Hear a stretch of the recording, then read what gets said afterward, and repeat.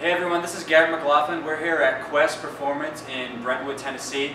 Uh, I'm here with Alyssa and what we're going to do is just demo what active release techniques is. Um, as an athletic trainer, a big part of what I do is, is soft tissue and hands-on work. Active release techniques is a way to work on um, any, time, any type of muscle, ligaments, tendons, help release and trap nerves. So really working on different soft tissue structures to get the body uh, functioning and moving the way it's supposed to. So what we're going to show you here is how to work on the calf. Uh, pretty common area right now, especially a lot of runners getting ready for different marathons, different events through the spring and the summer.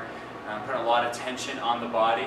So if you think of after running, especially endurance athletes in particular, a lot of repetitive a lot of repetitive motions where you're putting a lot of stress on the body. The muscle, the body doesn't always heal back in a straight kind of linear fashion. When we form and the muscle regenerates and regrows, it often forms back in a kind of a, a, crazy pattern like this. So what we do with the active release techniques is go in with the hands, thumbs, fingers, whatever you need to get into that soft tissue to help realign the fibers, help restore proper function.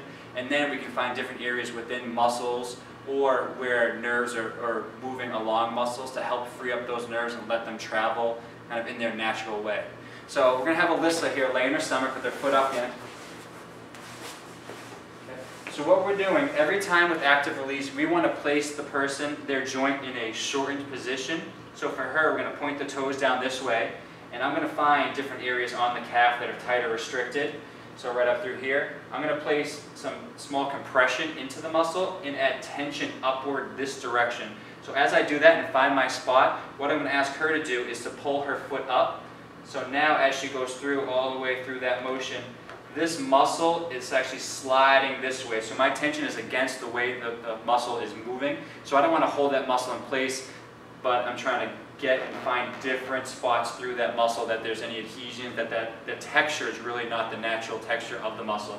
So if we run through several passes here from the shortened position, and then put it through that lengthened position.